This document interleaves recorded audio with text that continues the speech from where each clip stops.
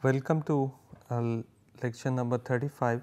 In this particular lecture, we will start this modeling and management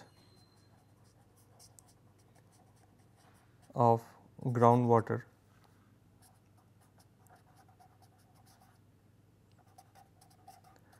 And under this, uh,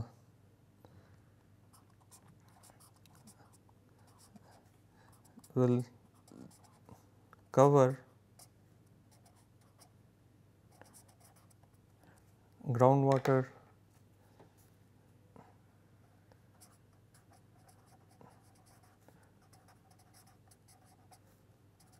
simulation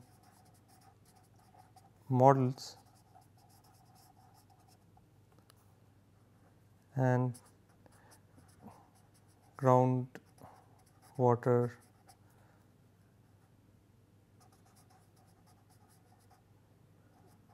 management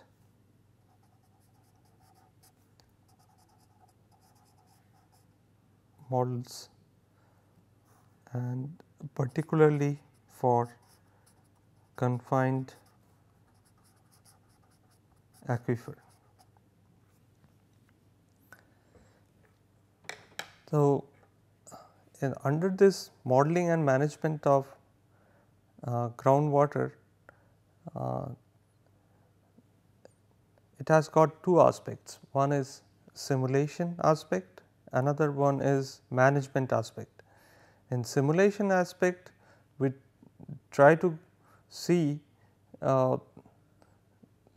we try to see the physical processes uh, by using uh, our governing equations that we have derived in our uh, previous lectures and in management model uh, we try to see uh, what if kind of scenarios if uh, we do certain kind of uh, management or we put certain kind of restriction on the groundwater use or uh, restriction on uh, variables then what will be the situation in near future or uh, in long term aspect.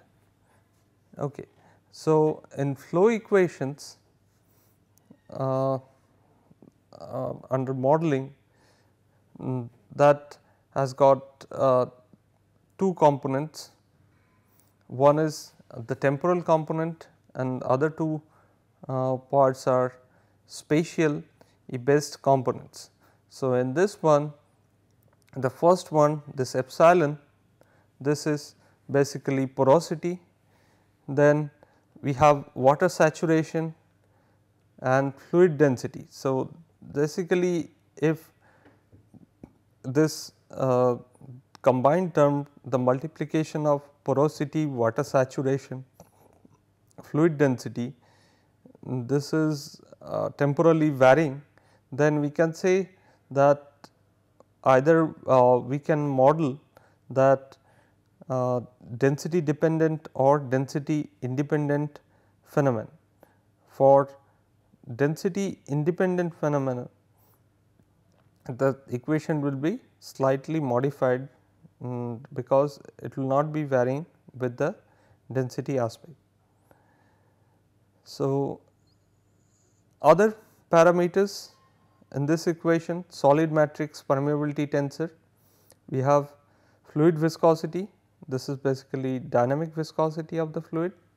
Then relative permeability and fluid pressure. We have fluid mass source. So, in the flow equation uh, this rho value or this g value uh, this is having only component in the vertical direction vertical direction. So, uh, this is basically a modified form of our Darcy's equation. Uh, if we consider it with the fluid pressure term. Next word is saturated unsaturated transport model. So, this is basically uh, porosity, uh, water saturation, density and this is dissolved mass fraction. Dissolved mass fraction then volumetric adsorbate source, other things that is uh, average fluid velocity. Then we have apparent molecular diffusivity and identity tensor and this is dispersion tensor and this is our mass uh, solute mass in source fluid due to production uh, reactions and this is QP into C star this is C star is basically solute concentration of fluid sources.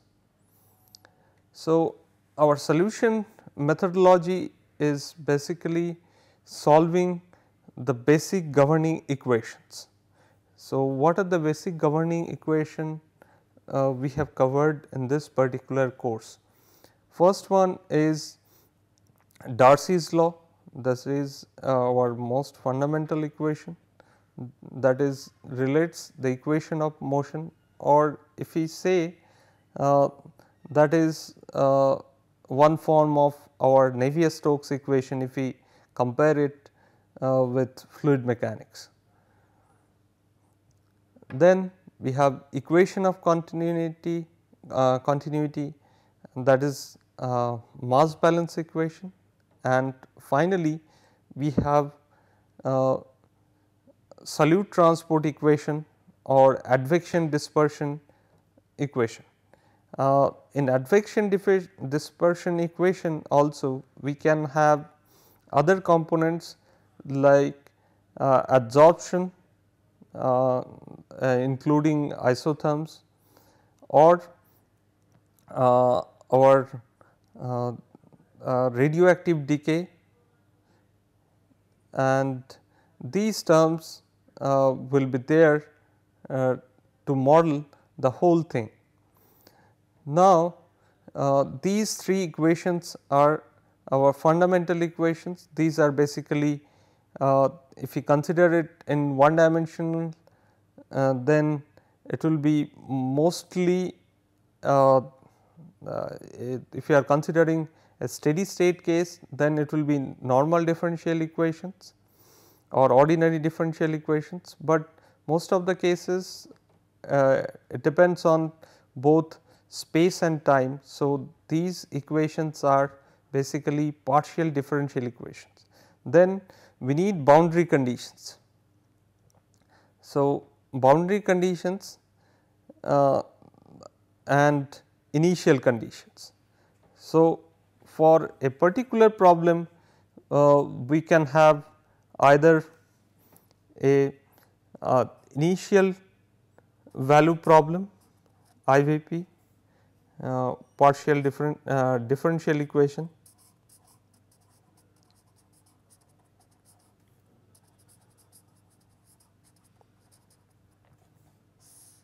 IVP or initial value problem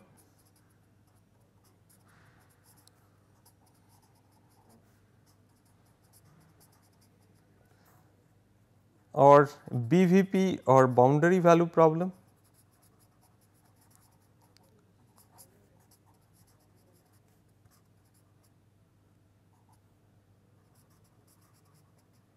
Or IBVP or initial boundary value problem.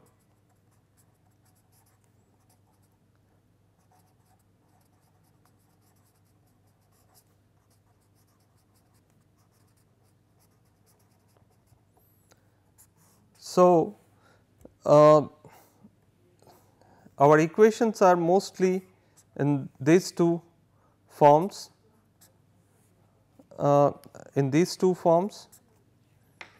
So, uh, solution uh, can be obtained for these two equations uh, using either uh, analytical or numerical methods. So, uh, to solve these two uh, or solve this equation in form of analytical solution, uh, we need to have some kind of simplified uh, form of the equation. Otherwise, it is difficult to find out the complex uh, analytical solution for a complex hydrogeological system. Numerical solutions are easier to find out because uh, we generally used a discretized form of the equation and we try to solve it with algebraic equations. So, uh, in case of numerical methods uh, either uh, we can use this finite difference, finite element, finite volume, SPH that is uh, smooth particle hydrodynamics, spectral methods or any mesh free methods uh, for this purpose. So, what is the uh, conceptual form of uh, calibration? So, first we need to have some kind of definition or we should have proper definition of our purpose. What, what is our objective? Uh, whether we want to model the thing or we want to model it for some kind of management strategy. So, we will have some kind of field data and from field data we can create the conceptual uh, model that is conceptualization of the mathematical model. So, we need to identify uh, the governing equations that will be required for a particular problem. So, identification of governing equation, uh, then boundary condition, initial condition. So, next thing is numerical formulation numerical formulation uh, we can discretize the equation, we can write the computer program, code verification this part is important because uh, we need to have some kind of verification of the code with the existing solutions. So, solutions can be uh, either existing uh, analytical solutions. So, or uh, existing solution for a two dimensional problem, but two dimensional problem or three dimensional problem the problem uh, is that uh, if we start uh, with the reality thing then there will be certain kind of errors. So, it is better to use that analytical solution uh, for code verification. So, if uh, the code is not verified then uh, we can go back to the computer program and we can uh, try to uh, rectify or correct our errors. So, code selection is important. So, either uh, one can write his or her own code or one can select uh, a proper code which is either a um, open source or a commercial one. So, if code verification is complete or code identification or code selection is complete then we can uh, go to uh, this model design part. So, with the field data we can uh, design the model then calibration, calibration comparison with the field data so, one way uh, model verification is done and calibration is done and this calibration should be supported by the sensitivity analysis. With the sensitivity parameters, uh, with the sensitivity of the parameters there should not be um, uh, much change in the model results because if uh, we are identifying the parameters in such a way that uh, it is uh, not a proper identification for which uh, there will be not much variation then uh, it will be a problem. So, uh, we, we should have uh, proper identification and uh, sensitivity analysis uh, with our problem and then uh, after model verification we can go for simulation. With simulation also we can uh, correct our sensitivity analysis and final is presentation of the results if uh, uh, there is some kind of monitoring network then finally we can monitor the thing and we can correct our uh, assumptions or conceptualization with uh, those monitoring data and again we can start from the initial uh, part and we can conceptualize the thing and we can redo the whole process so that uh, we can correctly adjust the model to get the proper results. So, uh, code selection in this case is an uh, important part of the modeling exercise. Either one can have uh, own uh, one can have their own code or they can readily select some codes which are available in public domain. So, standard simulation models that are available in the public domain or uh, uh, uh, with some restriction or in commercial domain these this is one comprehensive list of those models. So, first model is the ModFlow this is basically 3 dimensional finite difference based simulation flow simulation model. This is FEM water this is 3D finite element model for saturated unsaturated flow through uh, porous medium. SEAWAT this is saturated uh, uh, groundwater modeling or density dependent groundwater modeling in coastal aquifers.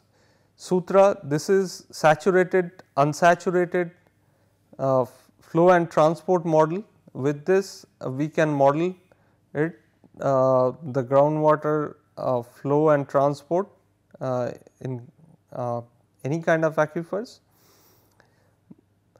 MT3DMS this is for uh, contaminant transport with multiple contaminants.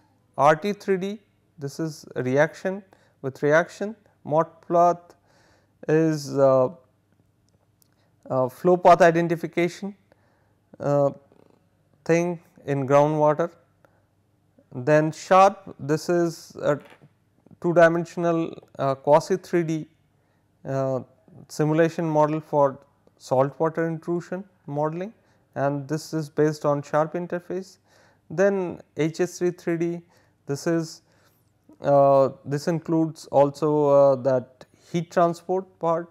Other models uh, uh, that can be named here uh, are this hydrotherm, FAST, this also include the chemical reaction part, TOUGH2 flow through fractures, media, FLOTRAN, iTOUGH the inverse tough thing, bioplume and this is one Hydrus this is also important software to model the flow in unsaturated porous medium.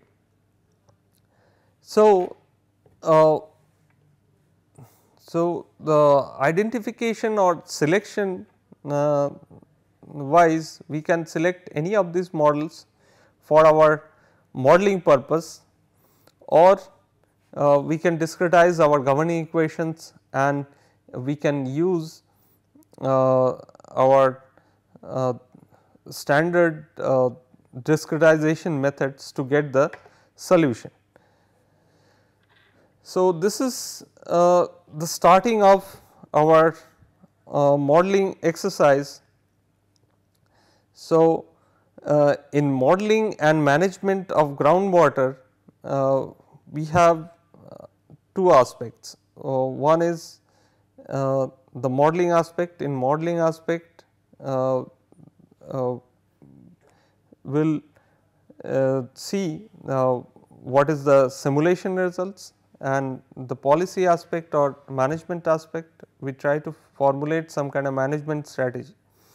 So, for hydraulic management uh, I am talking about the hydraulic management because uh, if we are talking uh, about the uh, flow part only then only uh, we say it as hydraulic management. Otherwise, uh, we need to have certain kind of management models with transport mechanism. So, in case of hydraulic management, hydraulic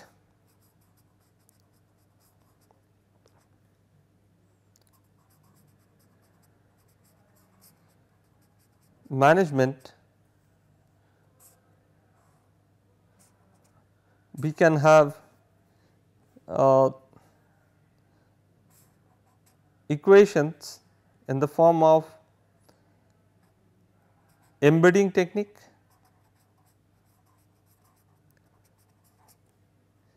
embedding approach.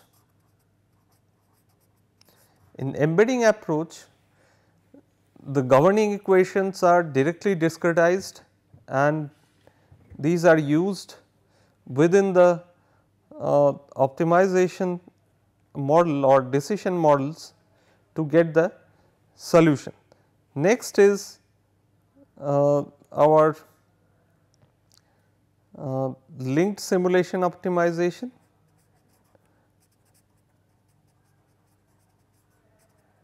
Simulation optimization.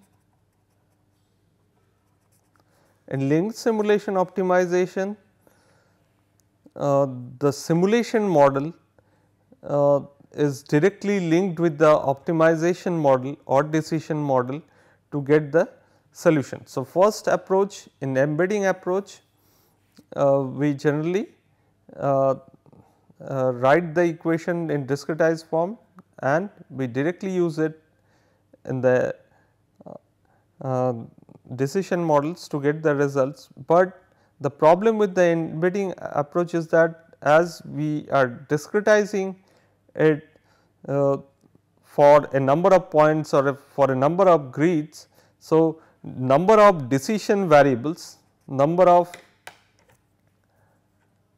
number of variables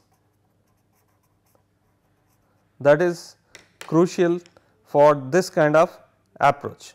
But in case of linked simulation optimization, uh, the simulation model is uh, doing the simulation part separately and only with a limited number of variables we can solve the decision model. So, uh, first approach concern is variable number of variables. The second approach uh, the concern is simulation time. If we are setting up a complex uh, simulation model then for each simulation it will take significant amount of time and uh, that will be a, a limitation for this linked simulation optimization. Then uh, the third approach uh, which uh, can overcome these two uh, limitations that is called meta model approach. Meta model approach. In this meta model approach, uh, basically uh, meta models are trained with the simulation results uh, from original simulation model and uh, we try to minimize the meta model uh, error uh, between the meta model output and the output from original simulation model.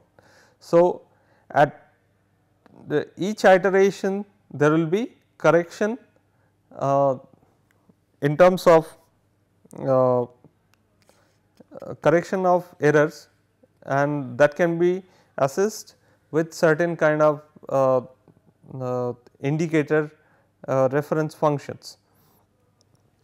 So, in meta model approach the most primitive approach is response matrix.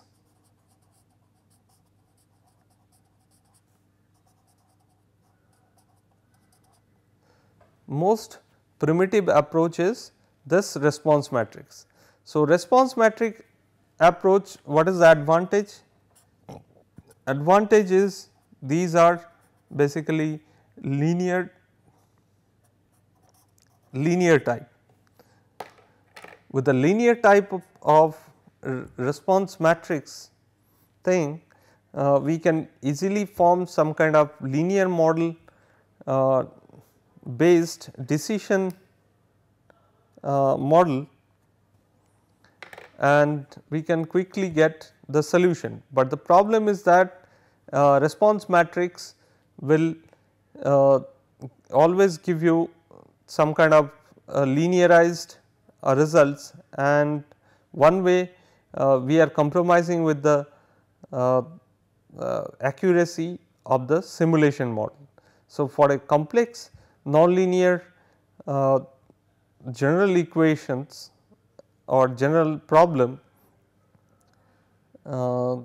we cannot represent it properly with our response matrix approach. So, uh, we need to have certain kind of approach in which uh, we can consider uh, that uh, linear uh, model thing, uh, nonlinear model thing.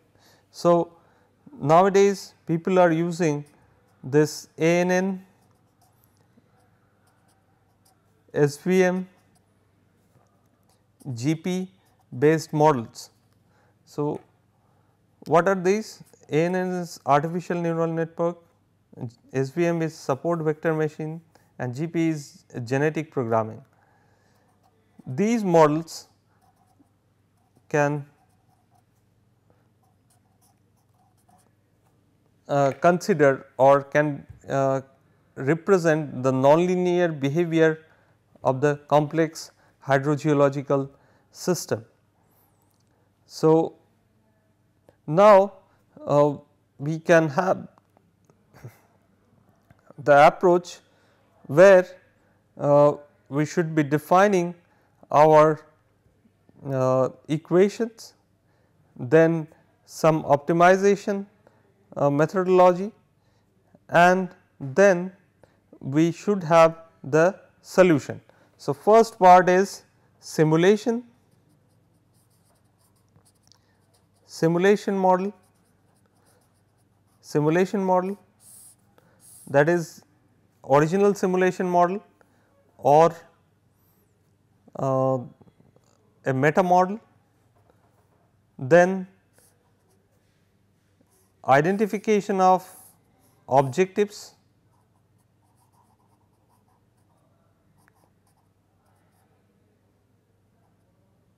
identification of objectives constraints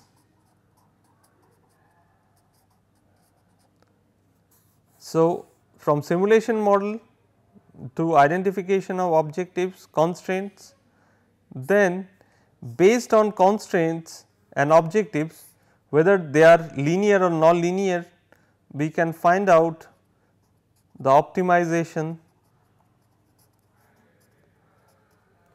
approach slash algorithm.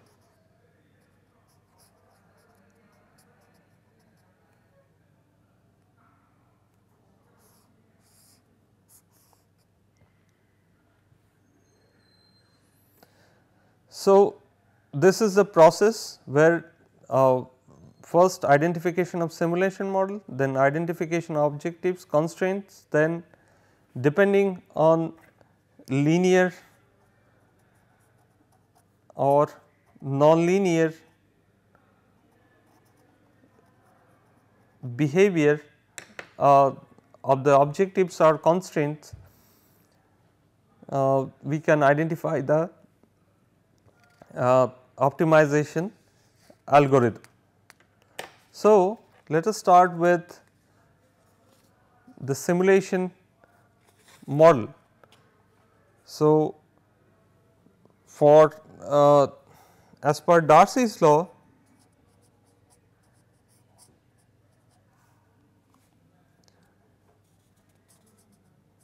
we know that uh, Darcian flux V for any confined aquifer that is for any confined aquifer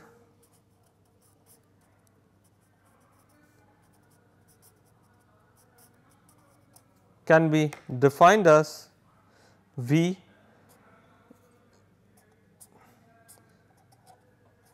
del H by del L.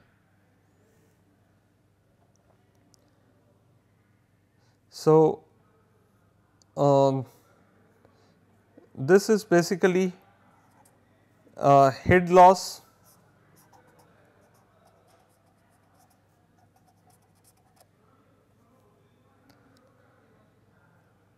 Per unit.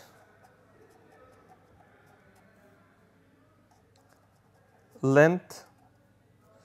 Head loss per unit length so, now with this uh, we can have one finite difference grid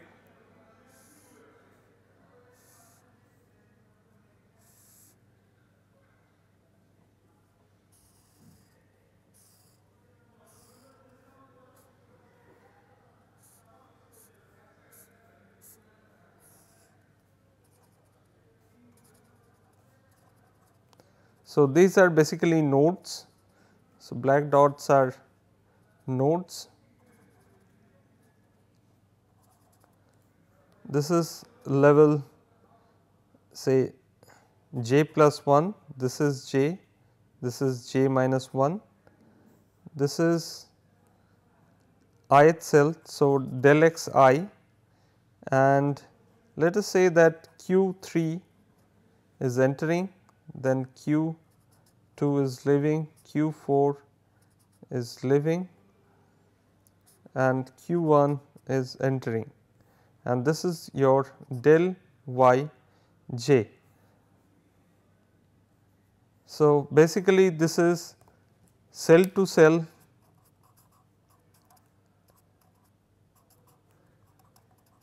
water transfer. So, here we can say that this q 1 is basically minus t x i minus j del uh, y j by del x. This is 1 this is q 2 is basically t x i j del y j del x second one this is q 3 is minus y i j plus 1 del x i del h by del y third one and the fourth one and the final one is t y i j that is del x i del h by del y 4. So, uh, in this case uh, T x j uh, is the transmissivity uh, in the x direction of the element i j. So,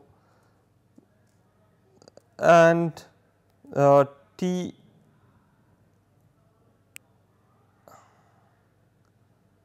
T i uh, uh, T i j and this is 2 element i plus 1 j. So, from this point to this point, so in this direction this T x i j that is acting. So, rate at which water stored that is rate at which water is stored that is considered as q 5. So, S i j where S i j uh, is your storage coefficient this is del y j and this is del h by del t. And in addition to that flow rate flow rate q 6 for constant net withdrawal withdrawal or recharge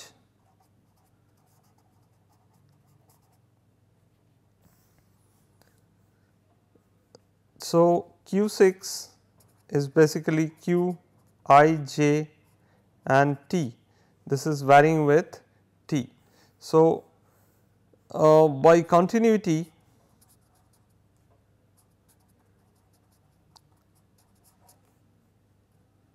uh, continuity equation may be uh, with the continuity of the flow we can write it as q that is entering q 2 that is leaving plus q through q 3 that is entering minus q 4 that is leaving the, the thing and q 5 is again that is uh, the rate at which it is stored. So, it is equivalent to the storage plus q 6. So, with this uh, if we uh, replace all these uh, previous expressions for q 1, q 2, q 3 and q 4 we will get this is T x this is del h by del x 1 this is del h by del x 2 this is del x i and this is T y. With this del h by del y del h by del y 4 and this is del y j. So, S i j del h by del t plus q i j t divided by del x i and del y j.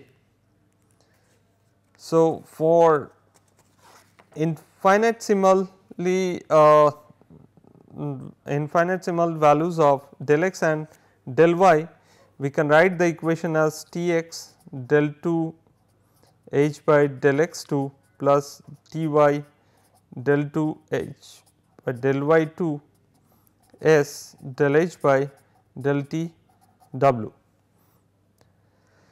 So, uh, if we talk about finite difference thing then we can write this equation as del h by del 1 and this is basically uh, j t and h i j t del x i del h by uh, del x for second phase that is i j t minus i plus 1 j t divided by del x i. So, del h by del y third one or third phase that is i j plus 1 t minus i j t divided by del y j and the last one that is the fourth one is i j t minus h i j minus 1 t del j. So, with this and del h by del t is h i j t minus h i j t minus 1 divided by del t. So, if we uh, substitute these uh, 5 expressions in our previous equation, then we will get uh, a compact form of the equation in terms of a i j h i j t plus b i j h minus 1 j t plus c i j and h i plus 1 j t plus d i j i j plus 1 t plus e i j h i j minus 1 t plus f i j t equals to 0 where these terms are basically coefficients involving our uh, known values or uh, provided information.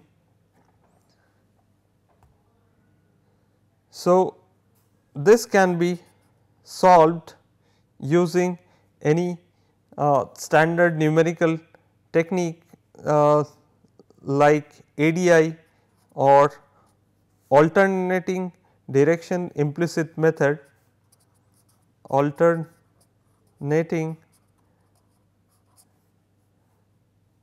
direction.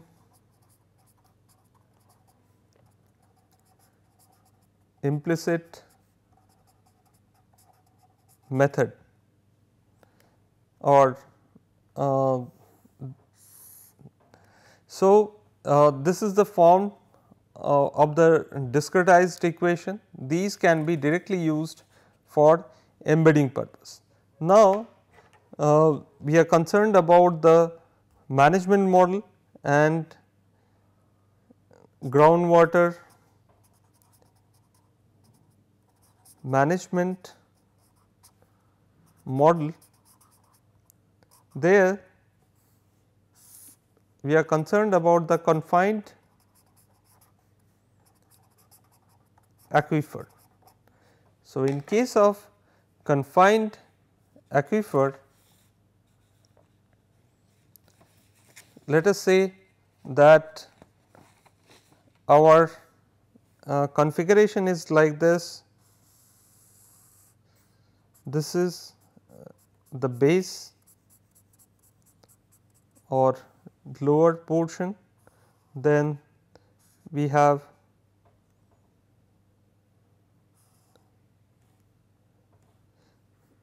in between the impermeable part.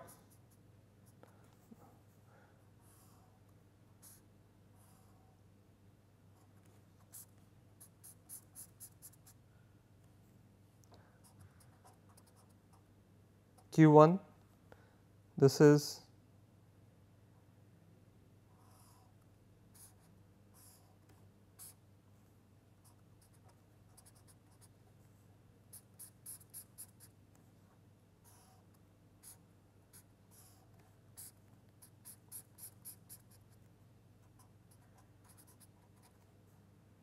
q 3 and this is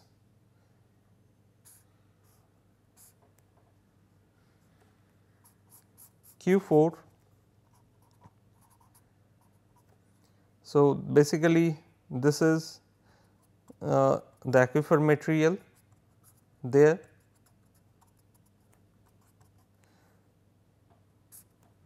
and this is the water height which is H 5 at this level and all are having equal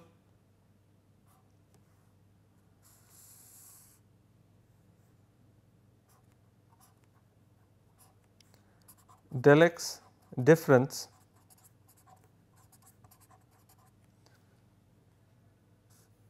and on the left hand side we have H naught value of the water level. So, it is a bounded problem both cases we have uh, specified boundary condition. This is also called as Dirichlet kind of boundary condition. So, for this kind of equation we have del h by del t uh, del h by del x equals to w by t x where for a steady state condition we have t equals to uh, del h by del t equals to 0. So, for this kind of uh, equation let us discretize it using our normal uh, finite difference method for two uh, second order finite difference will get del x square w i t x. So, this is uh, the discretized form of governing equation and we have 1, 2, 3, 4, 4 uh, pumping from this uh, particular aquifer and this H naught and H 5 bar to water levels on left and right hand side. So, our objective is to maximize. So, first we have completed the simulation part. Now, we are concerned about identification of our objective function. So, objective function is maximization of our uh, total head total head for i uh, for uh, i that belongs to uh, the set of uh, i that is the set of wells set of wells and this is subject to or subject to or ST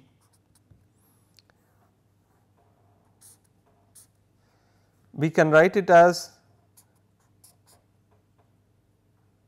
this I this W I is greater than W min and H i is greater than equals to 0,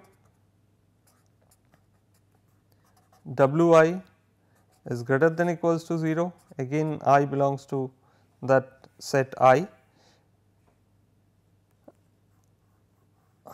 The W min is the minimum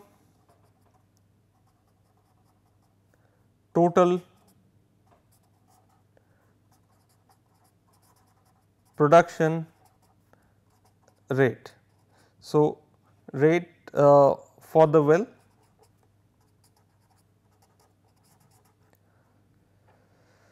So, the total uh, rate should be greater than or equal to the minimum uh, rate that is specified. So, uh, unknown for this problem are uh, unknowns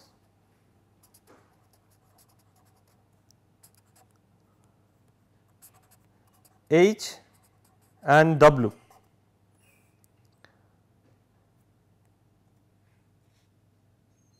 So, once uh, the model is solved, uh, this can be determined W can be determined as Q i divided by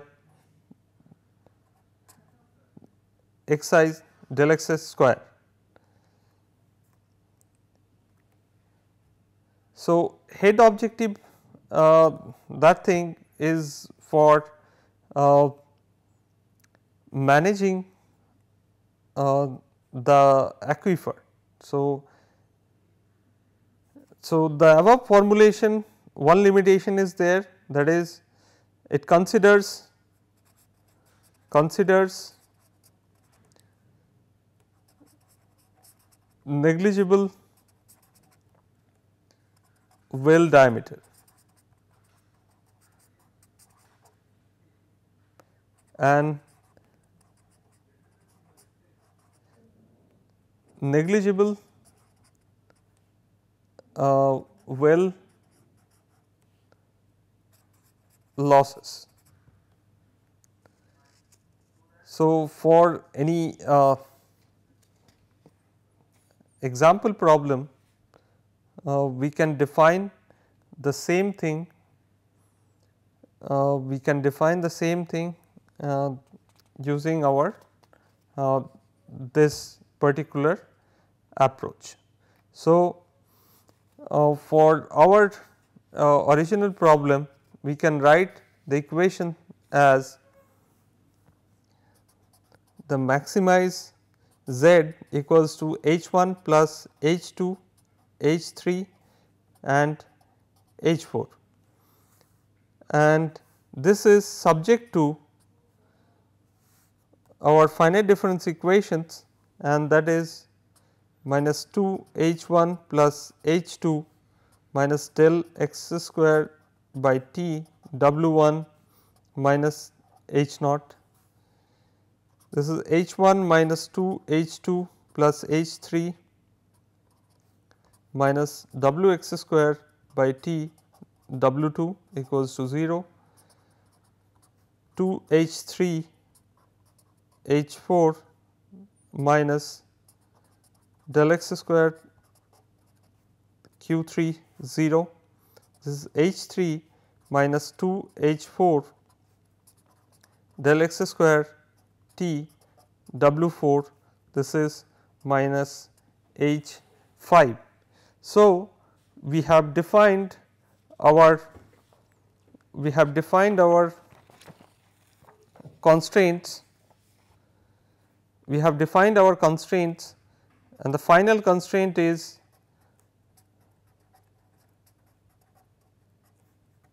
this one that is there is a minimum value of total pumping uh, in production wells and H i greater than 0 that is i equals to 1 to uh, 4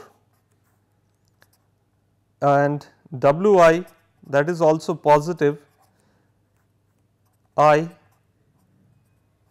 4. So, in this model